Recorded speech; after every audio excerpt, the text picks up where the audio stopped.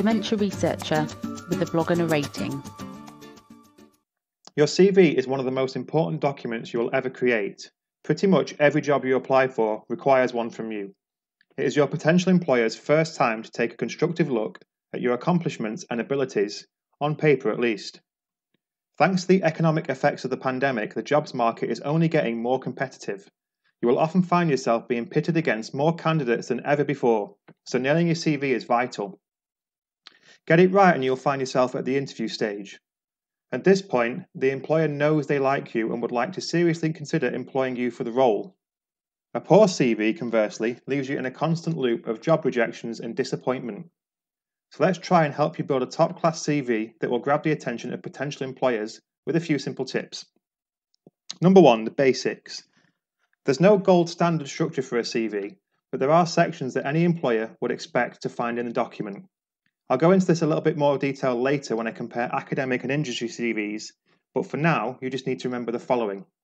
For any role, the organisation wants to know how well educated you are, and perhaps more importantly, how experienced you are. They also want to get this information as easily and accessibly as possible. More on this later too. In simple terms, your CV should contain personal contact details, education and qualifications, your career path so far with details of experience, relevant skills to the job, and maybe some of your personal interests or achievements, although this is not as necessary for academic CVs. References will also be expected, but to save space, I tend to just opt for the standard references can be provided upon request, as you often submit them separately. Some of these categories are a little vague, but I'll expand on them later. Before we move on though, spell check your CV. Typos are the quickest way to get a job rejection. They tell the employer you don't take the time to ensure you're doing things correctly. Spell check, spell check, and spell check. Good. Let's move on. Number two, presentation. How do you get someone to look at your CV in detail when they have 200 to go through? Simple, it has to pop. That doesn't mean pages of bright coloured Comic Sans text, but you want to avoid a dense set of paragraphs of black text on a plain white background. There is a delicate balance to be struck here, but it is possible to make a CV attractive to look at while also appearing professional. I could write paragraphs of a step by step guide for making an attractive CV, put a divider here, add this section there. Really, your best resources here are Google, and if you're at a college or university, your careers team. They can help you create a template that's both eye catching and oozes professionalism. It's all personal choice, but if you read this article, you'll find a link to a template that I quite like within. Number three, tailor your CV. This next point is so important. Your CV is supposed to be a working document. I've got maybe 20 different versions of my CV, each one tailored for a specific job application. The aim of your CV is to tell the employer that you are the right person for the job you need to highlight how you fit the specific requirements of the role by emphasizing aspects of your expertise and education that align best with the job description. Never lie, you'll always get found out. But if the job is, for example, a stem cell specialist and you've worked with stem cells, make sure this is emphasized on your CV before you add the other experience and expertise you have onto it. You don't have to rewrite the whole thing, just adapt the details so that they're relevant. Number four, have a professional cover letter. Um, along a similar theme, it is always good to have a cover letter, even if they don't ask for it. To keep it professional, I like to use the same template for my cover letter as for my CV so they match nicely. The length of the cover letter will depend on the application process. A lot of jobs these days require you to prepare something along the lines of an application statement. This is normally a separate document where you write a short essay explaining your expertise and why you're suited for the role. If the application does not require this, I recommend including something like that into your cover letter. Introduce yourself, explain your desire for the role, and detail why you are the right person to do it. If you're preparing a separate application statement, your cover letter can be a simple Dear Dr. Prof- Professor X, I am writing to formally state my desire to apply for insert job title. A CV and application statement explaining my expertise and suitability for this role are attached. Please do not hesitate to contact me if you have any further questions. Best regards.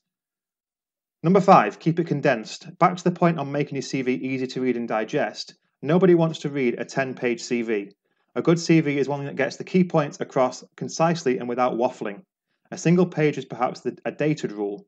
Most employers are now happy with a two page CV as it is difficult to get everything on a single page.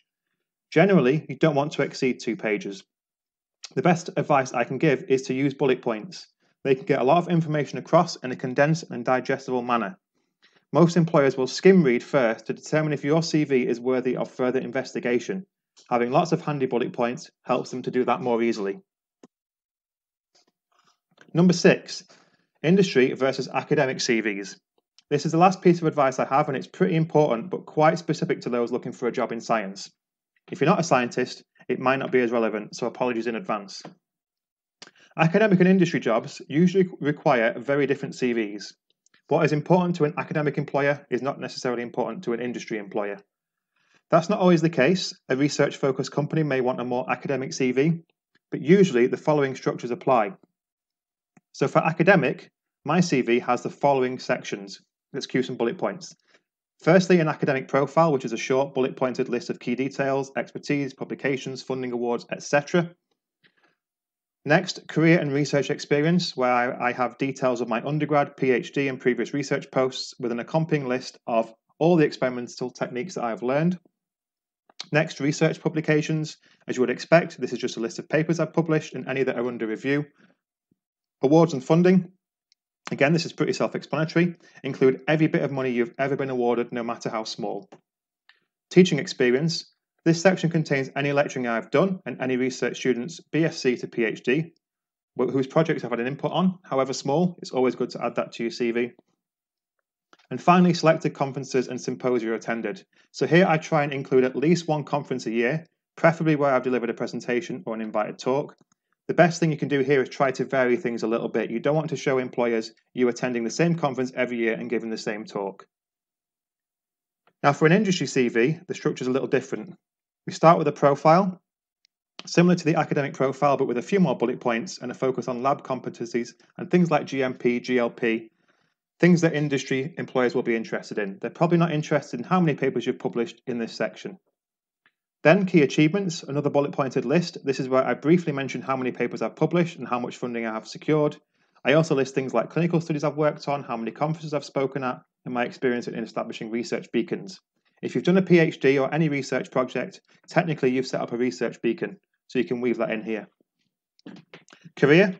Here I list every science job I've had and write a paragraph on each listing my duties, the experience I gained, it's important to not just include lab experience, but also to mention things like supervising researchers, IT competencies, and any industry relevant experience, like ethics and risk assessments.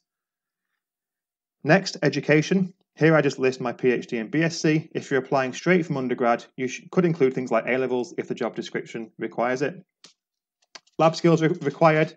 If you have any of the lab skills they need, say so in this section, and then add in any others that may be relevant. Mine is divided into three subsections based on following key areas cell culture, molecular biology, and biotechnology. You could do something similar. And finally, management experience and references. For management experience, I list any students or projects I've overseen. This is as close as you get to management experience at PhD and postdoc level. If you have other management experience, put it in here too, and then references provided upon request.